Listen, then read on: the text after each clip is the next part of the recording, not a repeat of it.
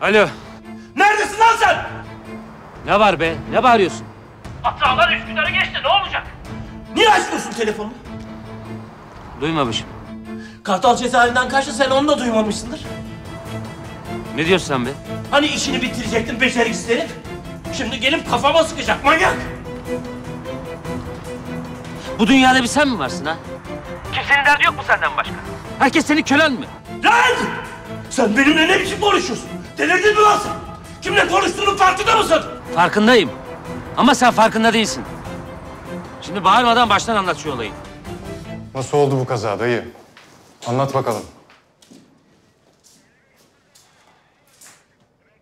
Benim dükkan için ihaleye gidiyorduk elemanla. Yolda giderken tansiyonum düşmüş. Ee, Gözümün önü karardı. Bir korna sesi duydum. Sonrasını bilmiyorum.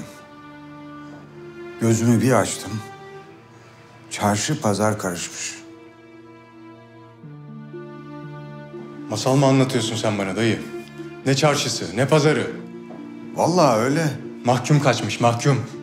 Sen farkında mısın girdiğin işin ne olduğunu? Ben bir işe falan girmedim. Yeminle. Hadi ya. Ne olacak